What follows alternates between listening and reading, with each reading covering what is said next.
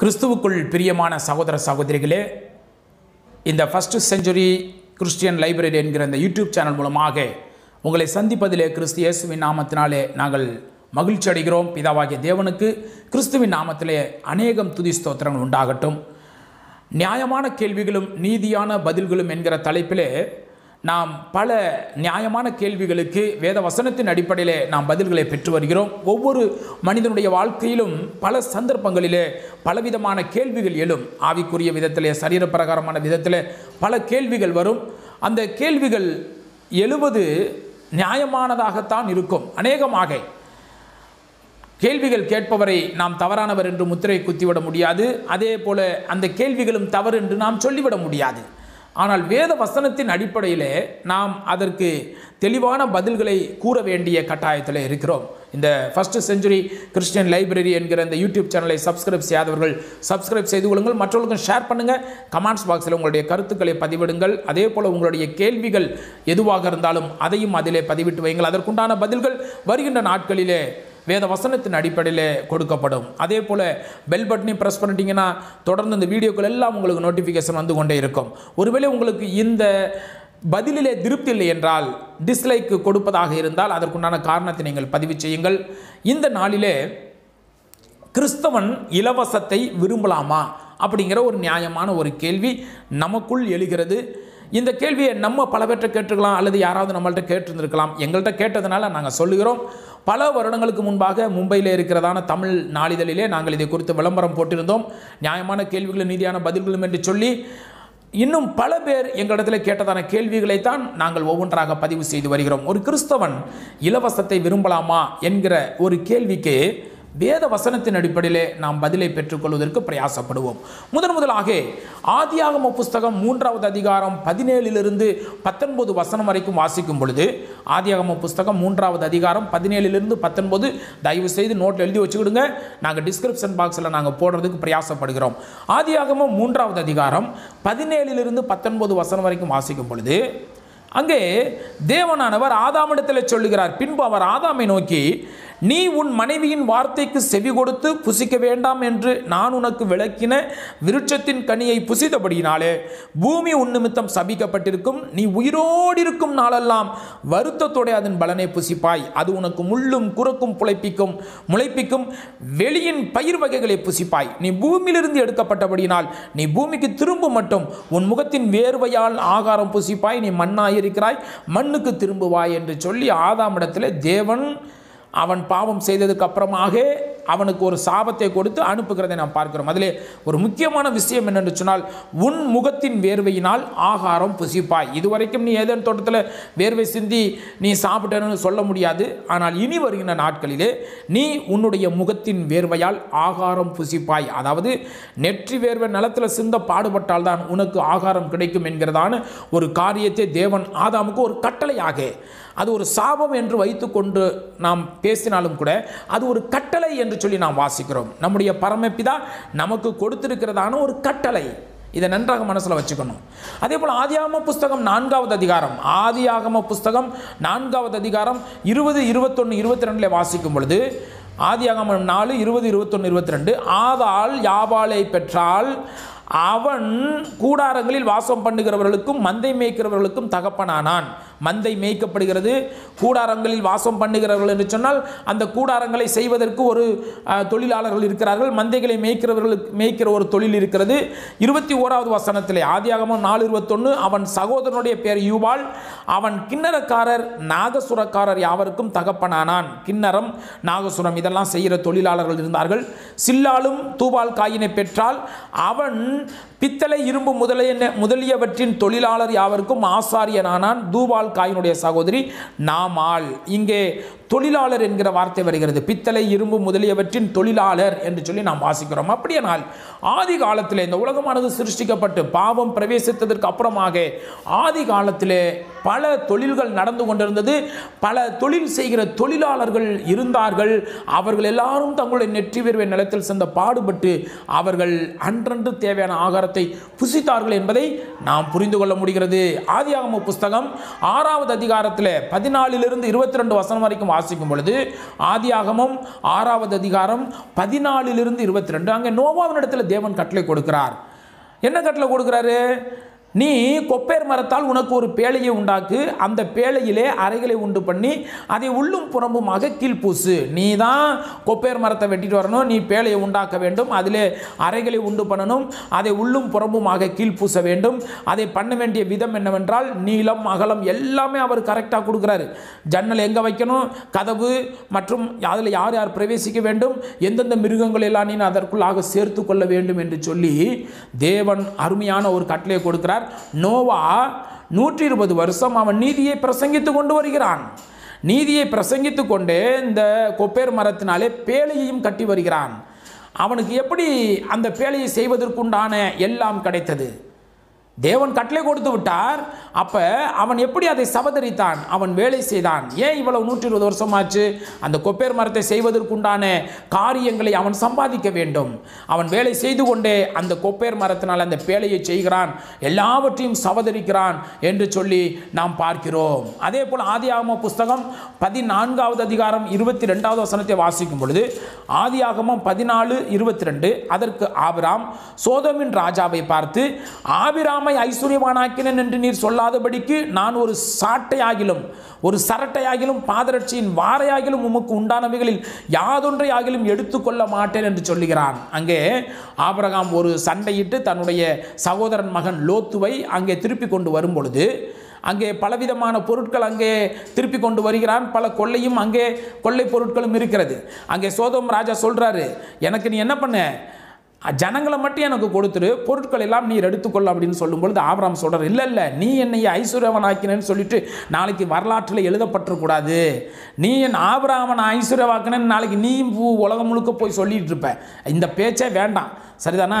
எனக்கு எதுவுமே தேவையில்லை எல்லாத்தையுமே நீயே எடுத்துக்க அப்படின்னு சொல்லிட்டு அவர் சொல்லுகிறார். சரிதானுங்களா? ஆபிரகாம் சொல்லுகிறார். எனக்கு இலவசமாக எதுவும் வேணாம் எல்லாத்தையும் நீயே வச்சுக்கோ அப்படிங்கிறாரு. அவருக்கு உரிமை இருக்குது. இருந்தாலும் கூட அவர் அதை எடுத்துக்கொள்ளவில்லை என்று சொல்லி ஆதியாம புஸ்தகம் பதினான்காவது அதிகாரம் இருபத்தி ரெண்டாவது வசனத்தை வாசிக்கிறோம். அதே போல் ஆதியாம புஸ்தகம் இருபத்தி மூன்றாவது அதிகாரத்தில் ஒன்றிலிருந்து இருபது வசனம் வரைக்கும் வாசிக்கும் பொழுது நல்லா கவனிங்க. ஆதியாகமம் இருபத்தி மூன்றாவது அதிகாரம் அந்த அதிகாரம் முழுக்கவே வாசிச்சிங்கன்னா அங்கே சாராள் ஆபரகாமுடைய மனைவி சாராள் அங்கே புலம்பி அங்கே மறித்து விடுகிறாள். ஆபரகாமுடைய மனைவி சாராள் அங்கே இறந்து விடுகிறாள். அவளுடைய வயது எவ்வளவு? நூற்றி இருபத்தி ஏழு வருஷத்தில். வருஷம் உயிரோடு இருந்தால் அவள் இறந்து விடுகிறாள். அப்போ கானான் தேசத்தில் உள்ள ஆபரகாம் எபிரோன் என்னும் கீரியா தர்பில சார்வான் ம- மறிக்கிறாள் கானான் தேசத்தில் உள்ள எபிரோன் என்னும் கீரியா தர்பாவிலே சாரால் மறிக்கிறாள் சரிதானுங்களா? சாராளுடைய வயது அங்கே நூற்றி இருபத்தி ஏழு சாராளுடைய வயது நூற்றி இருபத்தி ஏழு அந்த நூற்றி இருபத்தி ஏழு வயதில் அவள் மறிக்கிறாள். கானான் தேசத்தில் உள்ள எபிரோன் என்னும் கீரியா தர்பாவில். அப்பொழுது ஆபரகம் வந்து சாராளுக்காக புலம்பி அழுகிறான். இதை குறித்து நாம் ஏற்கனவே நாம் ஒரு பதிவிலே பதிவு செய்திருக்கிறோம். சரிதானுங்களா? ஏன் ஆபரகம் புலம்பி அழுதான் அப்படின்னு சொல்லிட்டு ஒரு வீடியோ கூட நம்ம போட்டிருக்கிறோம். அப்போ இந்த பாடியை வந்து புதைக்க வேண்டும். ஆபரகாம் இந்த சாராலை புதைக்க வேண்டும். அவன் செல்வ சீமானாக இருந்தான். அந்த இடத்துல இருக்கக்கூடியதான மக்களிடத்தில் போய் ஏத்தின் புத்திரருடைய அவன் பேசுகிறான். அந்த அதிகாரம் முழுக்க நீங்கள் வாசிச்சு பாருங்க. அம்ம புஸ்தகம் இருபத்தி மூன்றாவது அதிகாரம். நான் உங்களிடத்தில் அந்நியனும் பரதேசியுமாக இருக்கிறேன். என்னிடத்தில் இருக்கிற இந்த பிரேதம் என் கண்முன் இராதபடிக்கு நான் அதை அடக்கம் பண்ணுவதற்கு உங்களிடத்தில் எனக்கு சொந்தமாக ஒரு கல்லறை பூமியை தரணும். இலவசமாக நீங்கள் கொடுத்தீங்கன்னா நான் இன்னைக்கு அடக்கம் பண்ணிட்டு போயிடுவேன். நாளைக்கு நீங்கள் என்ன பண்ணுவீங்க? அதை எவனாவது வந்து திரும்ப அது மேலே இன்னொரு பிரதத்தை வைப்பான் எனக்கு அதெல்லாம் இஷ்டம் இல்லை. எனக்கு சொந்தமாக ஒரு இடத்த கொடுங்க அப்படின்னு சொல்லிட்டு கேட்குறான் உடனே ஏத்தின் புத்திரர் ஆபரகாமுக்கு பிரதித்திரமாக எங்கள் ஆண்டவனே நாங்கள் சொல்கிறத கேளுப்பா. எங்களுக்குள்ள நீர் மகாபிரபு. எங்கள் கல்லறையில் எங்களுக்குன்னு கல்லறையை நாங்கள் வெட்டி வெட்டி வச்சுருக்கோம்னா அதில் ஒரு முக்கியமான கல்லறையை நாங்கள் கொடுக்குறோம் நீ அதில் பிரேதத்தை அடக்கம் பண்ணு அப்படின்னு சொன்னதுக்கு அதெல்லாம் தேவையில்லை அப்படின்னு சொல்லிட்டு சொல்கிறார் அதாவது எனக்கு வந்து நீ இலவசமாக கொடுக்க வேணாம். எனக்கு சொந்தமாக அந்த பூமி வேணும். எனக்கு சொந்தமாக அந்த பூமி இருக்கணும். அதுக்கு என்ன விலை கிரயமோ அதை கேளு நான் தர்றேன். அது பெருமான விலைக்கு அவர் அதை தருவாராக அப்படின்னு சொல்லிட்டு கடைசியில் அந்த மக்பேலா எண்ணப்பட்ட குகையை கொடுக்குறத நம்ம வாசிக்கணும். ஏத்தின் புத்திரர் கொடுக்குறாங்க. சரிதானுங்களா? எப்ரோன் ஏத்தின் புத்திரர் நடுவிலே உட்கார்ந்திருந்தான். அந்த எப்ரோன் இருக்கான் இல்லையா? அப்பொழுது ஏத்தியனான எப்ரோன் பத்தாவது வசனம். தன் ஊர் வாசலுக்குள் பிரவேசிக்கிற ஏத்தின் புத்திரர் அனைவரும் கேட்க ஆபிரகாமுக்கு பிரதித்திரமாக நான் அந்த நிலத்தை உமக்கு தர்றேன் அதில் இருக்கிற கொகையும் உமக்கு தர்றேன். என் ஜனபுத்தருடைய கண்களுக்கு முன்பாக அதை உமக்கு தருகிறேன். உம்மிடத்தில் இருக்கிற பிரேதத்தை அடக்கம் பண்ணும் அப்படின்னு. அப்போ ஆபரகாம் திரும்பவும் வந்தனம் செய்து தேசத்து ஜனங்கள் கேட்க அதனுடைய விலையை நான் தர்றேன். நிலைய நிலத்தின் விலையை நான் தர்றேன். என் கையிலே அதை வாங்கி கொள்ளும். அப்பொழுது தான் என்னிடத்தில் இருக்கிற பிரேதத்தை அவ்விடத்தில் அடக்கம் பண்ணுவேன் அப்படிங்கிறான். உடனே திரும்ப எவ்வளோன்னு கேட்குறான் பதினஞ்சாவது வசனத்தில் என் ஆண்டவனே நான் சொல்லுகிறதை கேளும். அந்த நிலம் நானூறு சேக்கல் நிறை வெள்ளி பெறும். எனக்கும் உமக்கும் அது எவ்வளவு காரியம்? ரொம்ப சிம்பிளான காரியம். நீரும் மகா பிரபு நானும் நானும் பிரபு. நீ உம்மிடத்தில் இருக்கிற பிரேதத்தை அடக்கம் பண்ண அப்படின்னா இல்லை அப்படின்னுட்டு எப்ரோனின் எப்ரோன் சொன்னால் பார்த்தீங்களா நானூறு சேக்கல் நிறைன உடனே அந்த நானூறு சேக்கல் நிறைய வர்த்தகர் இடத்துல செல்லுபடியான அதாவது ஒரிஜினலாக அது பிஸ்னஸுக்கு உபயோகமாகக்கூடிய அளவில் எல்லாவற்றுக்கும் உபயோக உபயோகமாகக்கூடிய அளவில் அந்த நானூறு சேக்கல் நிறைவெள்ளியை அவனுக்கு நிறுத்து கொடுத்தான் என்று சொல்லி நம்ம பார்க்குறோம். ஆபிரகாம் மகாபிரபு அந்த ஏத்தின் புத்திரத்தில் கேட்டால் இலவசமாக கொடுத்துருப்பாங்க. ஆனால் ஆபரகாம் அதை அப்படி வாங்கவில்லை. நானூறு சேக்கல் நிறைவெள்ளியை அதாவது வர்த்தகரிடத்திலும் செல்லுபடியாகக்கூடிய அளவிலே ஒரு கௌரவமான ஒரு தொகையை கொடுத்து அந்த ஒரு கல்லறையை வாங்குகிறான். அதை சேர்ந்ததான அந்த குகை அந்த கல்லறை இருக்கக்கூடியதான அடங்கல் அந்த தோட்டம் எல்லாமே சேர்த்து இப்படியாக அதை வா சொந்த கல்லறை பூமியாக உறுதிப்படுத்தி கொண்டான் என்று சொல்லி நம்ம வாசிக்கிறோம். நல்லா பாருங்க ஆதாமனை பார்த்தோம். அதற்கப்புறமாக இருந்த அந்த ஆதியில் இருந்ததான தொழிலாளர்களை பார்த்தோம் நோவாவை பார்த்தோம். அதே போல் ஆபரகாம் சோதோம் ராஜாவினிடத்தில் பேசின காரியத்தை குறித்து பார்த்தோம். இப்பொழுது சாராளின் பிரேதம் அடக்கம் பண்ணப்படுவதற்காக அங்கே ஆபரகாம் ஒரு குகையை அதாவது ஒரு கல்லறை பூமியை கிரயம் கொடுத்து வாங்கினதை நாம் பார்க்கிறோம். அதே போல் ஆதியாகம புஸ்தகம் முப்பத்தி ஓராவது அதிகாரத்தில் ஆதியாகமம் முப்பத்தி ஒன்றாவது அதிகாரம் ஒன்றிலிருந்து ஆறு வசனம் வரைக்கும் வாசிக்கும் பொழுது இங்கே யாக்கோபு தன்னுடைய மனைவிமார்களிடத்திலே ஒரு விஷயத்தை சொல்லுகிறதை நாம் பார்க்கிறோம். முப்பத்தொன்னாவது அதிகாரம் ஆரம்பிக்கும் பொழுது பின்பு லாபானுடைய குமாரர் எங்கள் தகப்பனுக்கு உண்டானவைகள் யாவையும் யாக்கோபு எடுத்துக்கொண்டான் என்றும் எங்கள் தகப்பனுடைய பொருளினாலே இந்த செல்வத்தை எல்லாம் அடைந்தான் என்றும் சொன்ன வார்த்தைகளை யாக்கோபு கேட்டான். ஒரு பொண்ணுக்காக ஏழு வருஷம் இன்னொரு பொண்ணுக்காக ஏழு வருஷம் பதினாலு வருஷம் யாக்கோபு பட்ட கஷ்டம் நமக்கு தான் தெரியும். சரிதானுங்களா? அது அப்படியே யாக்கோபு தன்னுடைய மனைவிமார்கள்ட்டையும் சொல்கிறாரு நாலாவது வசனத்தில். அப்பொழுது யாக்கோபு ராகலையும் லேயாலையும் வெளியிலே தன் மந்தையினிடத்தில் அழைப்பித்து ஆதியாகமாக முப்பத்தி ஓராவது அதிகாரம். நல்லா படித்து பார்த்துடுங்க அவர்களை நோக்கி உங்கள் தகப்பனுடைய முகம் நேற்று முந்தானால் மாதிரி இல்லை. என்ன எனக்கு அப்படி தான் தோணுது. ஆனாலும் என் தகப்பனுடைய தேவன் என்னோடே கூட இருக்கிறார். என்னால் இயன்று மட்டும் நான் உங்கள் தகப்பனுக்கு ஊழியம் செய்தேன் என்று நீங்கள் அறிந்திருக்கிறீர்கள். உங்கள் தகப்பனோ என்னை வஞ்சித்து என் சம்பளத்தை பத்து முறை மாற்றினான். பத்து முறை மாற்றினான். இதனுடைய அர்த்தம் என்ன என்று சொன்னால் ஒரு வீட்டோட மாப்பிள்ளை அந்த யாக்கோபு உட்காந்தே சாப்பிட்ருக்கலாம் முரண்டு பிடிச்சி சாப்பிட்ருந்துருக்கலாம் அழிச்சாட்டியம் பண்ணிட்டு சாப்பிட்ருந்துருக்கலாம் நான் வீட்டோட மாப்பிள்ளையாக வந்துட்டேன். நான் வீட்டுக்கு மாப்பிள்ளையாக வந்துட்டேன். எப்படி வேணாலும் இருந்திருக்கலாம். கேட்குறதுக்கு ஒன்றும் பிரச்சனையே இல்லை. யாரும் கேட்கவும் முடியாது. அல்லது ஏதோ சோப்பலாங்கித்தனமாக வேலையை பார்த்துட்டு வந்து நானும் வேலை பார்த்தேன்னு சொல்லிட்டு அவர் பாட்டு உட்காந்துக்கலாம் ஆனால் அப்படி பண்ணல அவர். ஏழு வருஷம் ஏழு வருஷம் பதினாலு வருஷம் அவர் அங்கே சேவகம் பண்ணுகிறார். ரொம்ப கஷ்டத்தின் மத்தியில் அவர் சொல்கிறாரு அவ்வளவுக்கு சிரமப்பட்டேன் அப்படின்னு சொல்லிட்டு அங்கே அவர் பட்டியலிடுகிறதே நாம் பார்க்கிறோம். ஆதியாம புஸ்தகம் முப்பத்தி ஓராவது அதிகாரத்தில். பாருங்கள் இலவசமாய் சாப்பிடுவதற்குண்டான ஒரு வாய்ப்பு கிடைச்சாலும் கூட அதை நம்முடைய முற்பிதாக்கள் பயன்படுத்தி கொள்ளவில்லை என்பதை நாம் இதிலிருந்து பார்க்கிறோம். இன்னும் தெளிவாக பார்க்க முடியும். தீர்க்கதரிசிகள் ஆகட்டும் ராஜாக்கள் ஆகட்டும் நியாயாதிபதிகள் ஆகட்டும் நீங்கள் அந்தந்த புஸ்தகங்களிலே பார்க்கும் பொழுது எல்லாருக்குமே பாகப்பிரிவினை கொடுக்கப்பட்டது எல்லாருக்குமே நிலம் கொடுக்கப்பட்டது.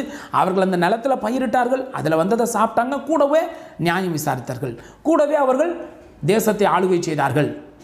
அது ரா தாவித ராஜாவாக இருக்கட்டும் யாராக இருக்கட்டும் நீங்கள் நியாயபரமான புஸ்தகமாக நியாயாதிபதிகள் புஸ்தகம் தீர்க்கதரிசிகளுடைய புஸ்தகம் ராஜாக்களுடைய புஸ்தகத்தெல்லாம் படித்து பார்க்கும் பொழுது அவர்களுக்கென்று நிலப்புலம் இருக்கும். அதில் அவர்கள் அங்கே பயிரை விளைவித்து சாப்பிட்டார்கள் என்று சொல்லி நம்ம பார்க்குறோம். கூடவே பல வி ச- வரிக்காக வரி என்ற விதத்தில் அவர்கள் நிறைய வசூலித்திருக்கலாம். பல நல்ல ராஜாக்கள் அதை முறையாக செலவழித்தார்கள். அது வேறு விஷயம். ஆனால் பொதுவாக ஒரு அந்த முறைமை என்று வரும் பொழுது எல்லாருமே அவர்கள் உழைத்து சாப்பிட்டார்கள். தேவன் கொடுத்ததான பாக்கியத்தை அது நிலமாக இருக்கட்டும் வேலையாக இருக்கட்டும் ஏதோ ஒன்றை அவர்கள் உழைத்து அவர்கள் அதை சாப்பிட்டார்கள் என்பதை நாம் புரிந்து கொள்ள வேண்டும். சரிதானுங்களா? உழைப்பு என்பது எவ்வளவு முக்கியமானது என்பதை தேவன் மனிதர்களுக்கு கற்றுக் கொடுத்திருக்கிறார். வனாந்தரத்தில் நடந்து வரும்பொழுது வேணும்னா வானத்திலிருந்து மண்ணாவை கொடுத்துருக்கலாம். ஆனால் அதே இஸ்ரேல் மக்கள் கானான் தேசத்தில் வந்து பயிரிட்டு அந்த பலன் கிடைக்க ஆரம்பித்தோம்னா மண்ணா நின்று போயிருச்சு. அப்போ யாருக்கு அவசியமோ யார் நிர்பாக்கியமாக இருக்கிறார்களோ யார் ஒரு துர்பாக்கியசாலியாக இருக்கிறார்களோ யார் உழைக்க முடியாமல் இருக்கிறார்களோ யார் ஒரு ஒரு இக்கட்டான சூழ்நிலை இருக்கிறார்களோ அவர்களுக்கு இலவசம் தேவை.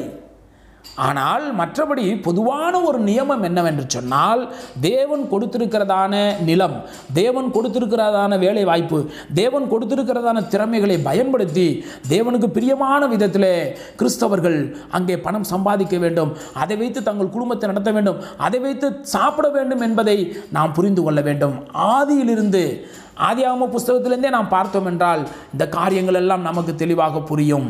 அதே போல் ரெண்டு நாளாகம புஸ்தகத்தில் ரெண்டு நாளாகம புஸ்தகம் எழுதி வைத்துக் கொள்ளுங்கள். ரெண்டு நாளாகம புஸ்தகம் முப்பத்தி ஓராவது அதிகாரம் ரெண்டிலிருந்து இருபத்தோரு வசனம் வரைக்கும் வாசிக்கும் பொழுது ரெண்டு நாளாகமம் முப்பத்தி ஒன்று ரெண்டிலிருந்து இருபத்தோரு வசனம் வரைக்கும் வாசிக்கும் பொழுது இங்கே இசைக்கிய ராஜாவை குறித்து நாம் பார்க்கிறோம். எசேக்கியா ராஜா பஸ்காவை ஆசரிக்கும்படி ராஜாவும் அவனுடைய பிரபுக்களும் எருசலேமில் உள்ள சபையார் யாவரும் யோசனை பண்ணியிருக்கிறாங்க. அது ரொம்ப வருஷம் ஆயிடுச்சு அங்கே பஸ்கா நம்ம கொண்டாடணும் அப்படின்னு சொல்லிட்டு பிளான் பண்ணிட்டாங்க. சரிதானுங்களா? இப்போ பிளான் பண்ணதுக்கப்புறம் அதையெல்லாம் திட்டமும் தெளிவுமாக அவர்கள் எல்லாமே ஒரு ஷெடியூல் போடுறாங்க. ஷெடியூல் போட்டு அதெல்லாம் செய்கிறாங்க இதில் நம்ம சிந்திக்கக்கூடிய ஒரு விஷயம் என்னென்னு கேட்டிங்கன்னா முப்பத்தி ஓராவது அதிகாரத்தில் பதினேழிலிருந்து நாம் வாசிக்கும் பொழுது தங்கள் பிதாக்களின் வம்ச அட்டவணைகளில் எழுதப்பட்ட தங்கள் வகுப்புகளின்படியே தங்கள் முறைகளில் இருக்கிற இருபது வயது முதல் அதற்கு மேற்பட்ட ஆசாரியருக்கும் லேவியருக்கும் அவர்களுடைய எல்லா கூட்டத்தின் அட்டவணையிலும் எழுதப்பட்ட அவர்களுடைய எல்லா குழந்தைகளுக்கும் மனைவிகளுக்கும் குமாரருக்கும் குமாரத்திகளுக்கும் பங்கு கொடுத்தார்கள். அவர்கள் பரிசுத்தமானதை உண்மையின்படி பரிசுத்தமாய் விசாரித்தார்கள். அதாவது ஆசாரியரில் எல்லா ஆண் பிள்ளைகளுக்கும் லேவியருக்குள்ளே அட்டவணையில் எழுதப்பட்டவர்கள் எல்லாருக்கும் படி கொடுக்க. அப்போ தேவனுடைய ஆலயத்தை விசாரிக்கிற இரவும் பகலும் தேவனுடைய ஆலயத்தை காவல் காக்கிற அங்கு இருக்கிறதான வேலைகளை செய்கிறதான ஆசாரியர்களுக்கும் லேவியர்களுக்கும் படி கொடுக்க வேண்டும். அதற்காக அவர்கள் சும்மா இருக்கக்கூடாது. ஒவ்வொரு வகுப்பு வகுப்பாக வந்து ஒரு அதாவது ஒவ்வொரு டீம் டீமாக குரூப் குரூப்பாக வந்து அவர்கள் அங்கே பணிவிடை செய்ய வேண்டும். பதினாறாவது வசனத்தில் வாசிக்கிறோம். ரெண்டு நாளாகம புஸ்தகம். முப்பத்தி ஓராவது அதிகாரம் பதினாறாவது வசனத்திலே அவரவருக்கும் தங்கள் வகுப்புகளின்படியே தங்கள் முறைகளிலே தாங்கள் செய்கிற தங்கள் பணிவிடைக்கு தக்கதாய் அனுதினப்படி கொடுக்கப்பட்டது. எந்தெந்த வகுப்பில் வர்றாங்க? எந்தெந்த முறையில் வர்றாங்க? அவர்கள் என்ன வேலை செய்கிறார்கள்? அதற்கு தகுந்தாற் போல அனுதினமும் அவர்களுக்கு படி கொடுக்கப்பட்டது என்று சொல்லி நம்ம வாசிக்கிறோம். சரிதானுங்களா? இந்த பத்தாவது வசனத்தில் ரெண்டு நாளாகம புஸ்தகம்? முப்பத்தி ஓராவது அதிகாரம் பத்தாவது வசனத்தில் வாசிக்கும் பொழுது நாங்கள் சாப்பிட்டு திருப்தி அடைந்தோம். இன்னும் மிச்சம் இருக்கிறது என்று சொல்லி சாதோக்கியின் சந்ததியான ஆகிய அசரியா என்னும் பிரதான ஆசாரியன் இசைக்கிய ராஜாவை பார்த்து சொல்கிறான் நாங்கள் சாப்பிட்டு திருப்தி அடைந்தோம். கர்த்தர் தம்முடைய ஜனத்தை ஆசீர்வதித்தினால் இந்த திரட்சியான அம்பாரம் மீந்திருக்கிறது என்று சொன்னான். நாங்கள் சாப்பிட்டது போக மிச்சம் இருக்குது. ரெண்டு நாளாக முப்பத்தி ரெண்டு பத்தில். இன்னும் மிச்சம் இருக்குது அப்படின்னு சொல்கிறாரு அந்த அளவிற்கு தேவன் ஆசீர்வதித்திருந்தார். அந்த அளவிற்கு ஜனங்கள் உற்சாகமாக கொடுத்தார்கள். அந்த அளவிற்கு ஆசாரியர்களும் லேவியர்களும் தங்களை பரிசுத்தம் பண்ணி கொண்டு அங்கே தேவனுடைய அந்த ஆலயத்து வேலையை அவர்கள் இரவும் பகலும் பார்த்தார்கள். என்னென்ன வேலை எப்படி எப்படி செஞ்சார்களோ அந்தந்த வேலைக்கு தகுந்தாற் போல அனுதினமும் அவர்களுக்கு சம்பளம் கொடுக்கப்பட்டது. யாரும் உட்கார்ந்துட்டு சாப்பிடல. யாரும் நான் வந்து ஒரு ஊழியக்காரன் நான் ஒரு லேவியன் நான் ஒரு ஆசாரியன் என்று சொல்லி பட்டத்தை மட்டும் போட்டுட்டு உட்காந்து உட்காந்து சாப்பிடல. அனுதினமும் அவர்கள் வேலை செய்தார்கள். வேலை செய்வதற்கேற்றதான கூலி அவர்களுக்கு கொடுக்கப்பட்டது என்று சொல்லி நாம் பார்க்கிறோம். ரெண்டு நாளாக புஸ்தகம் முப்பத்தி ஓராவது அதிகாரம். அதே போல் ஏசாயா தீர்க்கதரிசின் புஸ்தகம் ஐம்பத்தி ஐந்தாவது அதிகாரத்தில் ஒன்று ரெண்டு மூணு வசனத்தை வாசிக்கும் பொழுது ஏசாயா ஐம்பத்தி ஐந்தாவது அதிகாரம் ஒன்று ரெண்டு மூணு இங்கே இலவசமாய் என்கிற ஒரு வார்த்தை வருகிறது. முக்கியமாக நாம் சிந்திக்க வேண்டியதான ஒரு விஷயம் இலவசம். சரிதானுங்களா? அந்த இலவசம் என்கிறதான வார்த்தை இங்கே வருகிறது. ஏசாய் ஐம்பத்தி ஐந்தாவது அதிகாரம் ஒன்று ரெண்டு மூணு. ஓ தாகமாக இருக்கிறவர்களே நீங்கள் எல்லாரும் தண்ணீர்கள் அண்டைக்கு வாருங்கள். பணமில்லாதவர்களே நீங்கள் வந்து வாங்கி சாப்பிடுங்கள். நீங்கள் வந்து பணமுமின்றி விலையுமின்றி திராட்சை ரசமும் பாலும் கொள்ளுங்கள். அதாவது பணம் கொடுக்க வேண்டாம் விலை கொடுக்க வேண்டாம். உங்கள்கிட்ட பணம் இல்லை ஆனால் தாகமாக இருக்கிறீங்க. சரிதானுங்களா? அப்போ நீங்கள் வந்து சாப்பிடுங்க. நீங்கள் அப்பம் அல்லாததற்காக பணத்தையும் திருப்தி செய்யாத பொருளுக்காக உங்கள் பிரயாசத்தையும் செலவழிப்பானேன். ஏன் வந்து பணத்தையும் பொருளையும் செலவழிக்கிறீங்க? அதனால் உங்களுக்கு திருப்தி ஏற்பட்டுச்சா?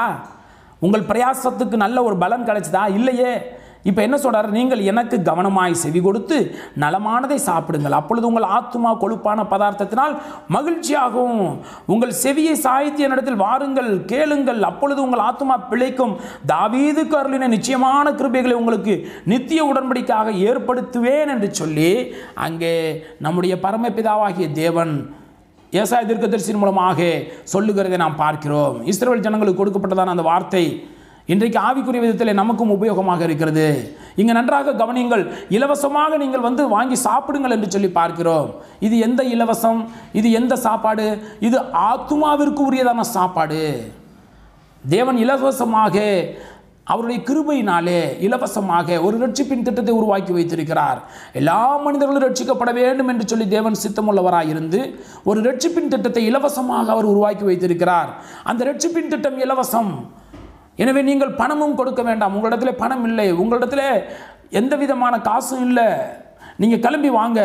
உங்களுடைய ஆத்துமா கொழுமையாக கொழுப்பான பதார்த்தத்தினால் மகிழ்ச்சி ஆகணும் நீங்கள் என்ன பண்ணுங்கள் உங்கள் செவியினாலே எனக்கு செவி கொடுத்து நலமானதை சாப்பிடுங்கள். இது வாய் வழியாக போகிற சாப்பாடு அல்ல செவி வழியாக போகிற சாப்பாடு. ஆன்மீக பிரகாரமான சாப்பாடு ஆத்துமாவிற்கான சாப்பாடு. இந்த சாப்பாடு எல்லாருக்கும் இலவசம் என்று சொல்லி ஏசாய தீர்க்கதரிசனுடைய புஸ்தகத்திலே எழுதப்பட்டிருக்கிறதை நாம் பார்க்கிறோம். கிறிஸ்துவுக்குள் பிரியமானவர்களே ஏசையா தீர்க்கதரிசிக்கு முன்பு வரைக்கும் நாம் பார்த்தோமே எல்லாமே சரீர பிரகாரமான சாப்பாட்டிற்காக.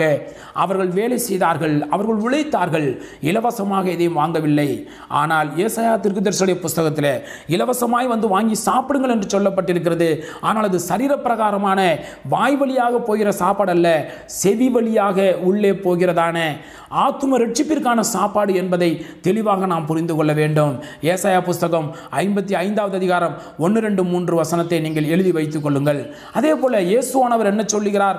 அதையும் நாம் பார்ப்போம். மத்திய சுவிசேஷ புஸ்தகம் பத்தாவது அதிகாரம் எட்டாவது வசனத்தை வாசிக்கும் பொழுது மத்தேயு பத்து எட்டை வாசிக்கும் பொழுது வழிக்காக பையையாவது இரண்டு அங்கிகளையாவது பாதரட்சைகளையாவது தடியையாவது தேடி வைக்க வேண்டாம். வேலையால் தன் ஆகாரத்துக்கு பாத்திரவானாயிருக்கிறான் அப்படின்னு சொல்லிட்டு சொல்றாரு பத்தாவது வசனத்தில். சரிதானுங்களா? மத்தையும் பத்து பத்தில். எட்டாவது வசனத்தில் வாசிப்போம். இலவசமாய் பெற்றீர்கள் இலவசமாய் கொடுங்கள். இலவசமாய் பெற்றீர்கள் இலவசமாய் கொடுங்கள். நீங்கள் இலவசமாய் உங்களுக்கு வேத வசனம் கொடுக்கப்பட்டது. ஆத்தும பிரகாரமான ரட்சிப்பின் திட்டம் உங்களுக்கு இலவசமாய் கொடுக்கப்பட்டது. அதை நீங்கள் இலவசமாய் கொடுங்கள் என்று சொல்லி அவர் தன்னுடைய பனிரெண்டு சீசர்களையும் வரவழைத்து அந்த பனிரெண்டு அப்போஸ்தலர்களுக்கு பெயர்களை இட்டு அவர்களை அனுப்புகிறதை நாம் பார்க்கிறோம். எனவே இலவசமாய் கொடுக்க வேண்டிய ஒரு காரியம் இருக்கிறது. அது என்ன? அது ரட்சிப்பின் திட்டம். அது தேவனுடைய கிருபையினாலே நமக்கு கொடுக்கப்பட்டிருக்கிற பாவ மன்னிப்பிற்கான பிரசங்கம். அது இயேசு கிறிஸ்துவை பற்றிதான பிரசங்கம். அது இலவசமாய் கொடுக்கப்பட வேண்டும். ஆனால் அதே நேரத்தில் ஒரு மனிதனுடைய வயிறு நிறைவதற்காக அவன் திருப்தியாய் சாப்பிடுவதற்கான உணவை அவன்தான் வேலை செய்து தேவன் கொடுத்திருக்கிற நிலத்திலே நெற்றி விரிவை நிலத்தில் சென்று பாடுபட வேண்டும். அல்லது கொடுக்கப்பட்டிருக்கிற வேலையில் அவன் பிரயாசப்பட்டு தன்னுடைய குடும்பத்தை தன்னை காப்பாற்றுவதற்காக அவன் வேலை செய்ய வேண்டும். இரண்டுக்கும் நிறைய வித்தியாசம் இருக்கிறது என்பதை நாம் ஏசாய தீர்க்கதரிசி புஸ்தகம் ஐம்பத்தி ஐந்தாவது அதிகாரம் ஒன்று ரெண்டு மூணை வாசித்தோம். இப்போது மத்திய சுவிசேஷ புஸ்தகம் பத்தாவது அதிகாரம் எட்டாவது வசனத்திலே நீங்கள் இலவசமாய் பெற்றீர்கள் இலவசமாய் கொடுங்கள் என்று சொல்லப்பட்டிருக்கிறதை நாம் நன்றாக மனதில் வைத்துக் கொள்ள வேண்டும். அதே போல ரோமர் புஸ்தகத்திலே மூன்றாவது அதிகாரம் குறித்து வைத்துக் கொள்ளுங்கள்.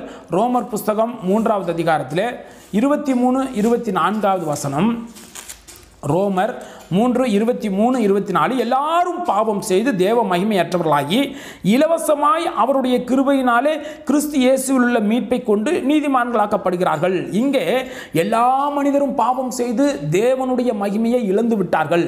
ஆனால் அவர்கள் அப்படியே தேவன் விட்டுவிடவில்லை தன்னுடைய பிள்ளைகள் தேவனுடைய மகிமையை இழந்து விட்டார்களே.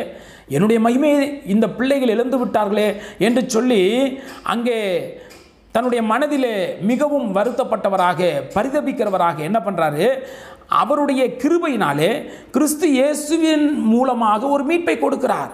அந்த மீட்பு எப்படிப்பட்டது? அதற்காக நீங்கள் பணம் செலுத்த வேண்டாம் பாத யாத்திரை செல்ல வேண்டாம் மிக கடுமையான உபவாசங்கள் உண்ணாவிரதங்கள் இருக்க வேண்டாம் தங் உங்களுடைய சொத்து பத்துக்களை நீங்கள் தானமாக கொடுக்க வேண்டாம் எதற்கும் எழுதி வைக்க வேண்டாம். எதுவுமே பண்ண வேண்டாம். எந்த இரத்த பலியும் கொடுக்க வேண்டாம். அது இலவசம் என்பதை நீங்கள் புரிந்து கொள்ளுங்கள். இலவசமாக தேவனுடைய கிருபையினாலே கிறிஸ்து இயேசுவில் உள்ள மீட்பை கொண்டு நாம் நீதிமான்களுக்கப்படுகிறோம் ஏனென்றால் நாம் எல்லாரும் பாவம் செய்து தேவ மகிமையற்றவர்களாகி இருக்கிறோம் என்பதை நாம் புரிந்து கொள்ள வேண்டும். இங்கே இலவசமாய் தேவனுடைய கிருபையினாலே இயேசு கிறிஸ்துவிலே மீட்பு உண்டாக்கப்பட்டிருக்கிறது என்று எழுதப்பட்டிருப்பதை நாம் கவனித்துக் கொள்ள வேண்டும்.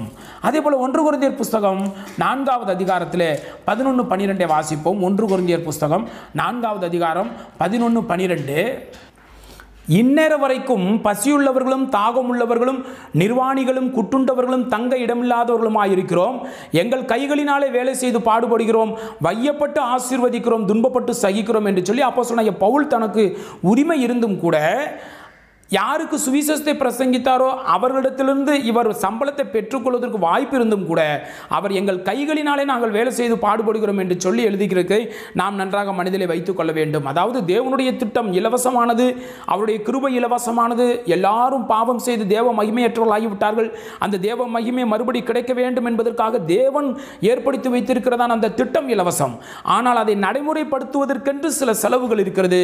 அந்த செலவுக்கு கூட அங்கே அப்போ சொன்ன பவுல் தன்னுடைய கைகளினாலே வேலை செய்து பாடுபட்டார் என்று சொல்லி எழுதப்பட்டிருப்பதை நாம் பார்க்கிறோம். அதே போல ரெண்டு குருந்தியர் புஸ்தகம் பதினோராவது அதிகாரத்தில் ஏழிலிருந்து பத்தை நாம் வாசிக்கும் பொழுது ரெண்டு குருந்தியர் பதினோராவது அதிகாரம் ஏழிலிருந்து பத்து இங்கே நீங்கள் உயர்த்தப்படும்படி நான் என்னைத்தானே தாழ்த்தி தேவனுடைய சுவிசேஷத்தை இலவசமாய் உங்களுக்கு பிரசங்கித்ததனாலே குற்றம் செய்தேனோ? அதாவது இவர் தேவனுடைய சுவிசேஷத்தை கொரிந்து பட்டணத்தில் இலவசமாய் பிரசங்கித்தார் என்று சொல்லி நாம் பார்க்கிறோம். ரெண்டு குருந்தியர் பதினோராவது அதிகாரம் ஏழாவது வசனம். உங்களுக்கு ஊழியம் செய்யும்படிக்கு மற்ற சபைகளிடத்திலே சம்பளத்தை நான் பெற்றேன். அதே போல் ஒன்பதாவது வசனத்திலே நான் உங்களோடு இருந்து குறைவுபட்ட போதும் ஒருவரையும் நான் வருத்தப்படுத்தவில்லை. மக்கோதனியாவிலிருந்து கொஞ்சம் சில சகோதரர்கள் வந்தார்கள். அவர்கள் தான் எனக்கு கொடுத்து உதவினாங்க. மற்றபடி நாங்கள் யாருக்கும் பாரமாயிராதபடிக்கு ஜாக்கிரதையாக இருந்தேன். இனிமேலும் ஜாக்கிரதையாக இருப்பேன் என்று சொல்லி அப்போ சொன்னைய பவுல் அங்கே குறிந்து பட்டணத்துக்கு எழுதினதை குறித்து நாம் பார்க்கிறோம். சுவிசேஷ பணி செய்வது என்பது கொஞ்சம் செலவு மிகுந்தது தான் சுவிசேஷ பணி வந்து சுவிசேஷம் என்பது இலவசம். தேவனுடைய கிருபை என்பது இலவசம். ஆனால் அதை எடுத்துக்கொண்டு போவது அதை மற்றவர்களுக்கு பிரசங்கிப்பது பிரயாண செலவு தங்கும் செலவு சாப்பாடு செலவு இப்படி செலவுகள் இருக்குது. அது நியாயமான ஒரு காரியம்தான். ஆனாலும் கூட அப்பசனைய பவுல் மிக ஜாக்கிரதையாக இருந்து அவர் தன்னுடைய சொந்த கைகளினாலே வேலை செய்து அங்கே அவர் சுவிசேஷத்தை பிரசங்கித்தார் என்று சொல்லி நாம் பார்க்கிறோம். சரிதானுங்களா இதையும் நம்ம நல்லா ஆழமாக மனசில் வச்சுக்கணும். அதே போல் ரெண்டு குழந்தையர் புஸ்தகத்தில் பனிரெண்டாவது அதிகாரம் பதினாலிலிருந்து பதினெட்டு வசனம் வரைக்கும் வாசிக்கும் பொழுது ரெண்டு குழந்தையர் பனிரெண்டாவது அதிகாரம் பதினாலிலிருந்து பதினெட்டு தயவுசெய்து எழுதி வச்சு கொடுங்க. இது மெயின் ரோட்டில் இந்த இடம் இருக்கிறதுனால டிஸ்டர்பன்ஸ் நிறைய இருக்கும். அதனால தான் நான் கத்தி பேசுகிறேன் கொஞ்சம் தயவுசெய்து நீங்கள் புரிந்து கொண்டு இந்த வசனத்தெல்லாம் நீங்கள் எழுதி வச்சுக்கிடுங்க ரெண்டு குழந்தையர் பனிரெண்டாவது அதிகாரம் பதினாலிலிருந்து பதினெட்டு வசனம் வரைக்கும். இதோ உங்களிடத்திற்கு மூன்றாம் தரம் வர ஆயத்தமாக இருக்கிறேன் நான் உங்களை வருத்தப்படுத்துவதில்லை. நான் உங்களுடையதல்ல உங்களையே தேடுகிறேன். பெற்றோருக்கு பிள்ளைகள் அல்ல பிள்ளைகளுக்கு பெற்றோர்களே பொக்கிஷத்தை சேர்த்து வைக்க வேண்டும். ஆதலால் நான் உங்களில் எவ்வளவு அதிகமாய் அன்பு கூறுகிறனோ அவ்வளவு குறைவாய் உங்களால் அன்பு கூறப்பட்டிருந்தாலும் மிகவும் சந்தோஷமாய் நான் உங்கள் ஆத்துமாக்களுக்காக செலவு பண்ணவும் செலவு பண்ணப்படவும் விரும்புகிறேன். பாருங்க செலவு பண்ணணும் செலவு பண்ணப்படணும் ஆத்துமாக்களுக்காக ஆத்துமாக்களுக்காக செலவு பண்ணணும் செலவு பண்ணப்பட வேண்டும். அப்போ ஏசாய புஸ்தகத்தில் சொன்னதுனுடைய அர்த்தம் உங்களுக்கு புரிஞ்சிருச்சா? இயேசு கிறிஸ்து தன்னுடைய சீசரிடத்தில் சொன்னாரே இலவசமாய் பெற்றுகள் இலவசமாய் கொடுங்கள். அதனுடைய அர்த்தம் புரிஞ்சிருச்சா? என்னன்னா ஆத்துமா ஆதாயத்துக்காக ஒரு மனிதனுக்காக நாம் செலவு பண்ணலாம். செலவு பண்ணப்படலாம். ஆனால் சரீரப்பிரகாரமான ஒரு செலவு என்று வரும் பொழுது உணவு என்று வரும் பொழுது இருப்பிடம் என்று வரும் பொழுது உடை என்று வரும் பொழுது மற்ற செலவுகளுக்கு ஒவ்வொரு தனிப்பட்ட மனிதனும் ஒவ்வொரு தனித்தனி குடும்பங்களும் அங்கே வேலை செய்து சம்பாதிக்க வேண்டும். தங்களுடைய செலவுகளை அவர்கள் தேடிக்கொள்ள வேண்டும் என்பது தேவனுடைய கட்டளையாக இருக்கிறது என்பதை நாம் நன்றாக மனதிலே வைத்துக்கொள்ள வேண்டும். ஒன்று தெசலோனிக்கர் புஸ்தகத்தில் இரண்டாவது அதிகாரம் ஒன்பதாவது வசனம். ஒன்று தெசலோனோக்கியர் இரண்டாவது அதிகாரம் ஒன்பதாவது வசனத்திலே சகோதரரே நாங்கள் பட்ட பிரயாசமும் வருத்தமும் உங்களுக்கு ஞாபகமாக இருக்கும்னு நினைக்கிறேன். நாங்கள் உங்களிடத்தில் இருந்தப்ப நாங்கள் பட்ட பிரயாசம் வருத்தமெல்லாம் உங்களுக்கு ஞாபகம் இருக்குதா? உங்களில் ஒருவனுக்கும் பாரமாயிராதபடிக்கு இரவும் பகலும் நாங்கள் வேலை செய்து தேவனுடைய சுவிசேஷத்தை உங்களிடத்தில் பிரசங்கித்தோம்.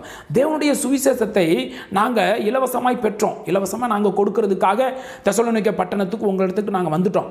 வந்து உங்களுக்கு பிரசங்கிச்சோம் இல்லையா? அப்போ உங்கள்கிட்ட நாங்கள் ஏதாவது வாங்கணுமா? இல்லையா இரவும் பகலும். எங்களுக்கு தெரிஞ்ச கூடார வேலை அல்லது ஏதோ ஒரு வேலையை நாங்கள் செஞ்சு இரவும் பகலும் நாங்கள் வேலை செய்து ஒருவனுக்கும் பாரமேறாதபடிக்கு இரவும் பகலும் நாங்கள் வேலை செய்து எங்களுடைய செலவுகளெல்லாம் நாங்கள் பார்த்துக்கிட்டோம். எங்களுடைய சாப்பாடு செலவு போக்குவரத்து செலவு தங்குற செலவெல்லாம் உங்களிடத்திலே நாங்கள் தேவனுடைய வசனத்தை நாங்கள் பிரசங்கித்தோம்.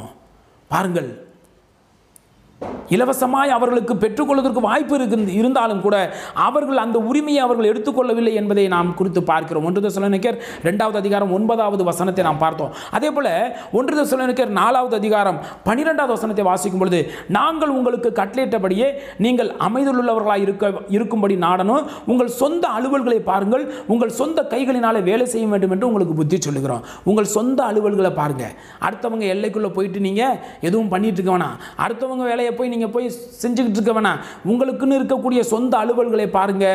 உங்களுடைய சொந்த கையினால் நீங்கள் வேலை செய்துங்கள். அமைதியுள்ளவர்களாக இருங்க.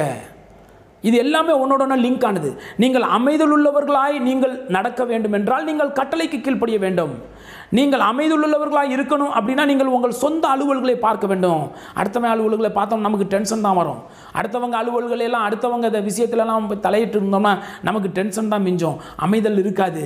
அப்போ நீங்கள் அமைதியுள்ளவர்களாக இருக்க வேண்டும் என்றால் நாங்கள் உங்களுக்கு கட்டளையிட்டபடியே நீங்கள் அமைதியுள்ளவர்களாக இருக்கணும். உங்கள் சொந்த அலுவல்களை பார்க்க வேண்டும்.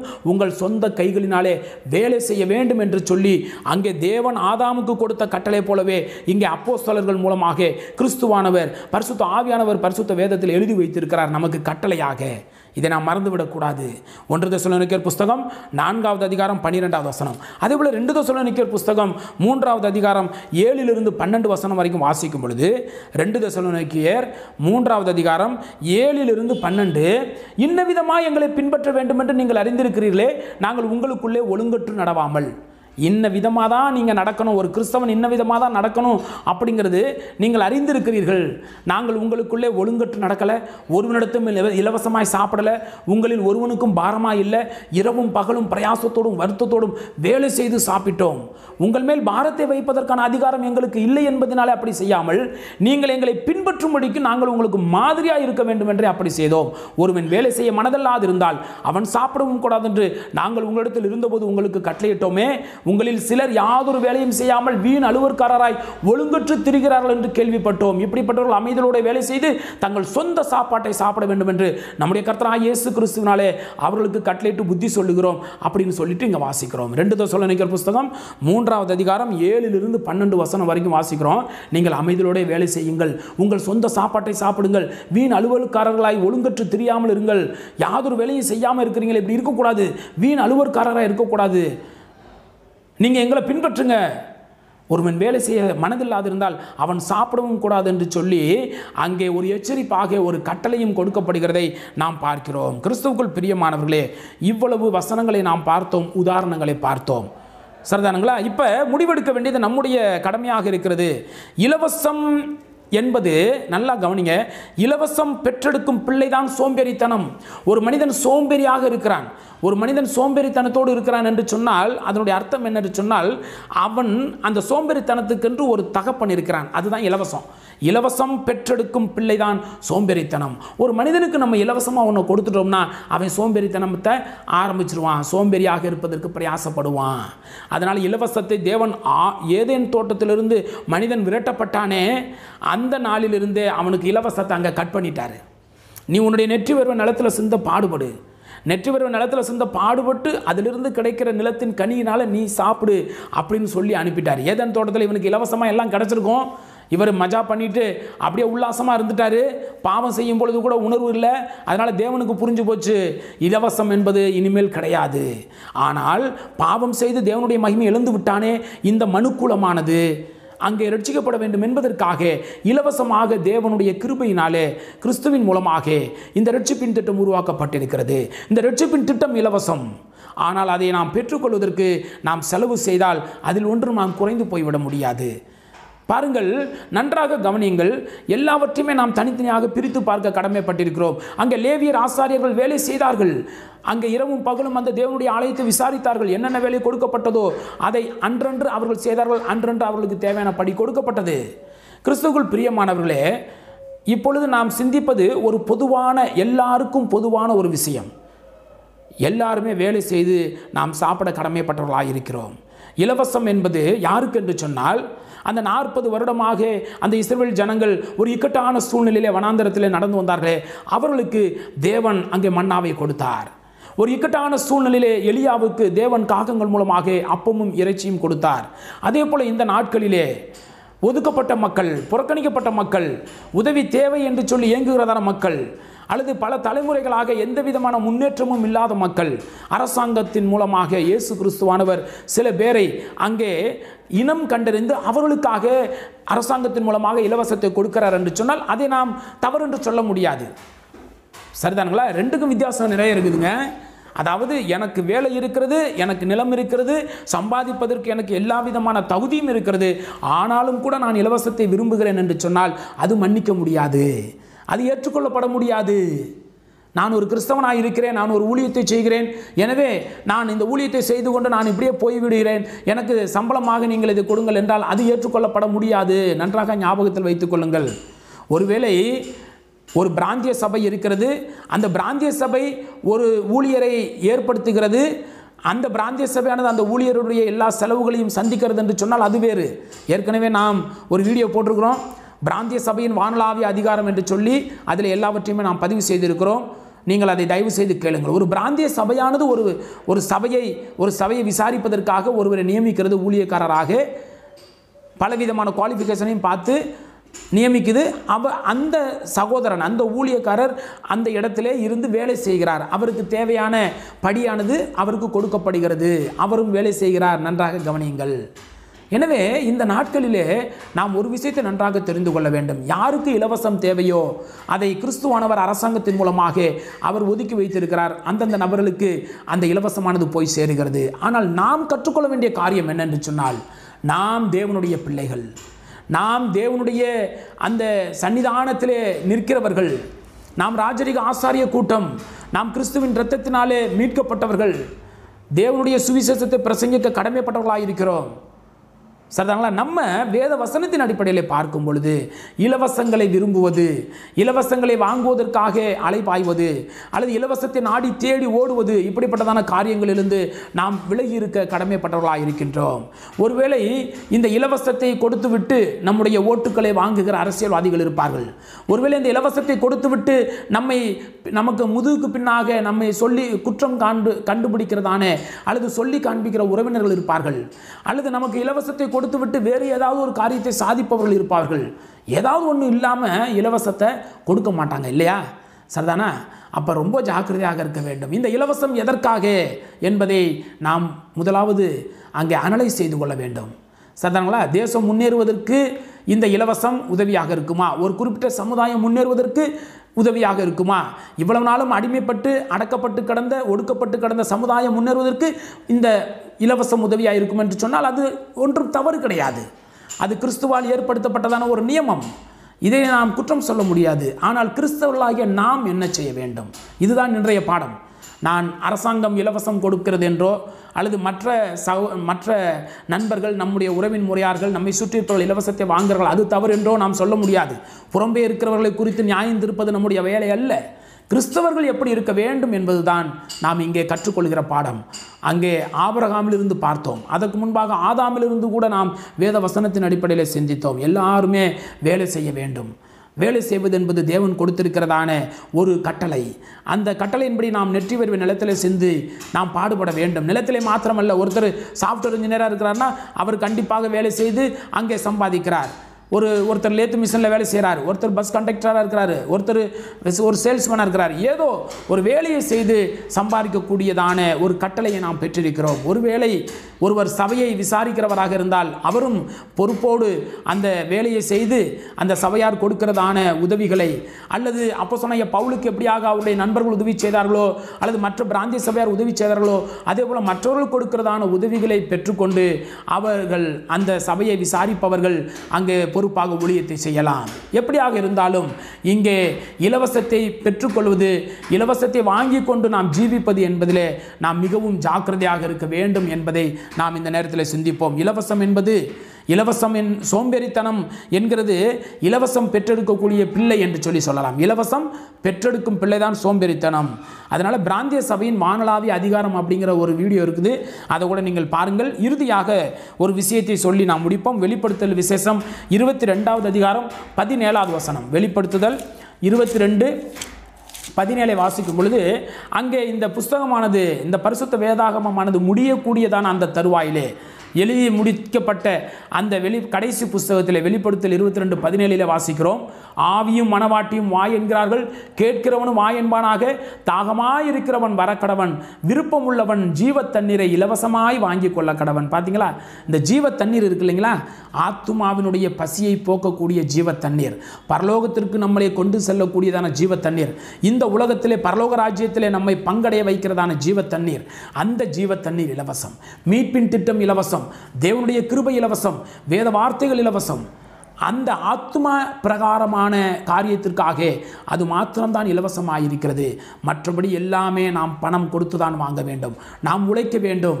ஒரு காரியத்தை பெற்றுக்கொள்வதற்கு அல்லது ஒரு பொருளை வாங்குவதற்கு நம்முடைய குடும்பத்தை நடத்துவதற்கு எல்லாவற்றுக்கும் நாம் உழைக்க வேண்டும் என்பதில் எந்த விதமான சந்தேகமும் இல்லை. உழைப்பு என்பது தேவனுடைய திட்டம். வேர்வை சிந்தி பாடுபட வேண்டும் என்பது தேவனுடைய திட்டம். அதை ஆதியிலிருந்தே ஆதி முற்பிதாக்கள் செய்தார்கள். இயேசுவானவர் செய்தார் அப்போஸ்தலர்கள் செய்தார்கள் ஆதி கிறிஸ்தவர்கள் செய்தார்கள். இன்று வரைக்கும் பல உத்தமமான நபர்கள் கிறிஸ்தவர்கள் செய்து கொண்டிருக்கிறார்கள். எனவே இலவசத்தை நாம் குறை சொல்லவில்லை. அரசாங்கத்தின் மூலமாக கிறிஸ்துவானவர் பல பேருக்கும் இலவசமாக உதவி செய்து கொண்டு வருகிறார் பல சமுதாயத்துக்கு. அதை நாம் குற்றம் சொல்ல முடியாது. அது தேவனுடைய திட்டம். ஆனால் கிறிஸ்தவர்கள் எப்படியாக வாழ வேண்டும் இலவசத்தை விரும்பலாமா விரும்பக்கூடாதா என்பதை குறித்து நாம் இந்த தினத்தில் சிந்தித்தோம். உங்களுடைய கருத்துக்களை நீங்கள் பதிவிடுங்கள் மாற்று கருத்து இருந்தால் அதை குறித்தும் நாம் சிந்திப்போம். வரக்கூடிய நாட்களிலே உங்களுடைய கேள்வி பதில்கள் எதுவாக இருந்தாலும் அதை கமெண்ட் பாக்ஸில் பதிவிட்டால் அதற்குண்டான பதிலை வேத வசனத்தின் அடிப்படையில் நாம் சிந்திப்போம். தேவனுடைய நாமம் கிறிஸ்துவின் மூலமாக சபையிலே யுகம் யுகமாக நம்முடைய வாயின் மூலமாக நம்முடைய இருதயத்தின் மூலமாக முழு மனதோடு முழு இருதயத்தோடு மகிமைப்படுவதாக தங்களுடைய பொறுமையான கவனத்துக்கு மிக்க நன்றி. டிஸ்கிரிப்ஷன் பாக்ஸில் ஒரு சில தகவல்களை பதிவிட்டு வைத்திருக்கிறோம். அதாவது கரஸ்பாண்டன்ஸ் கோர்ஸ் விவரங்கள் மற்றும் பாடல் புத்தகங்கள் மற்றும் கேள்வி பதில் புத்தகங்கள் இருக்கிறது. ஆவிக்குரிய பதினாலு புத்தகங்கள் ஒரு தொகுப்பாக இருக்கிறது. கமெண்ட்ரி தமிழ் கமெண்ட்ரி இருக்கிறது. எனவே நீங்கள் அவைகளெல்லாம் வாங்கி படித்து பார்த்து உங்களுடைய விசுவாசத்தை வேத வசனத்தின் அடிப்படையில் வளர்த்து கொள்ளும்படி அன்போடு உங்களை கேட்டுக்கொள்கிறோம். தேவனுடைய நாமம் கிறிஸ்துவின் மூலமாக மகிமைப்படுவதாக. ஆமேன்.